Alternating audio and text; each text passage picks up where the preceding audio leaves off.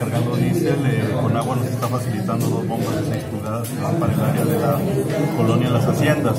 Ahí en la calle Don Maclovio es donde se van a instalar, eh, como se han hecho en anteriores contingencias. Eh, ahorita nada más lo que eh, terminaban esos detalles técnicos, personal de Conagua y personal de CIMA van a estar trabajando ahí en esa área. No, es a tiempo, digo, todos desde la mañana estamos haciendo todos los trámites, es mover, ellos incluso están solicitando personal adicional, y hablé a Monterrey también, incluso